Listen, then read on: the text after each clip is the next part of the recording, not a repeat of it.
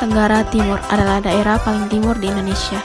Nusa Tenggara Timur memiliki keanekaragaman dan keberagaman. Salah satunya itu kuliner. Di NTT sendiri memiliki keberagaman makanan khas. Nah, di sini kami akan menyajikan beberapa makanan khas dari NTT. Yang pertama ada jagung bose yaitu berupa olahan jagung dan kacang-kacangan yang cara masaknya pun sangat mudah yaitu dengan cara direbus. Makanan ini merupakan makanan pengganti nasi. Yang kedua ada sayur lumpur rampe yaitu sayur yang terdiri dari daun ubi, jantung pisang, dan bunga pepaya yang cara dimasaknya pun dengan ditumis. Dan yang ketiga adalah lawar ikan sarden yaitu ikan sardin yang diberikan cuka yang kemudian didiamkan tanpa perlu dimasak. Yang keempat yaitu adalah lawar sambal yaitu sambal yang terdiri dari lombok, tomat, dan daun bawang. Seperti ini harus tetap dilestarikan? Karena makanan-makanan ini merupakan ciri khas dari NTT yang tidak ditemukan di daerah